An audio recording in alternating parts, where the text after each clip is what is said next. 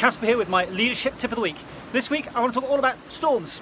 Now, the reason I say that is I'm here in uh, South Devon and uh, we've got a storm coming in the next 24 hours, 50 60 mile an hour winds, and uh, we've just been preparing the boats to make sure everything is safe and uh, ready uh, for that. But it's kind of the same analogy for us in our lives and our businesses and so on, that there are always storms that are going to come up and the question is, are you prepared? Are you ready for them? And for me, that's all about emotional resilience. How do you deal with things when they come up? I love the formula.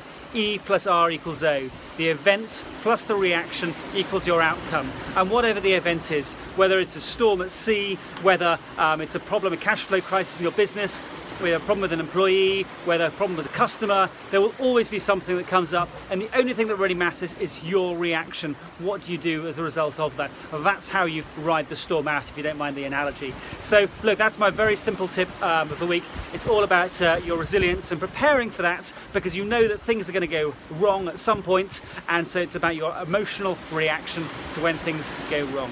All right, everyone, have an amazing day. This is Caspar out.